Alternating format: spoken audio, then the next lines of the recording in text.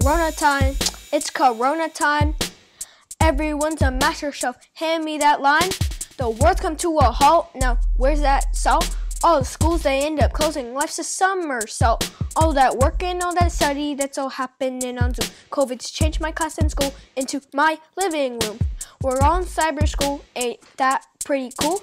But you still gotta wash your hands. Oh man, don't be a fool. The cleaning wipes, the Lysol spray, and good old sanitizer flew off the shelves as fast as Energizer. And how can I forget about that chunky toilet paper? I'll take one plate, I'll take two plate, as long as it's a paper. Corona had to teach us that we hoard and buy too much. We all just need to slow it down and do not touch.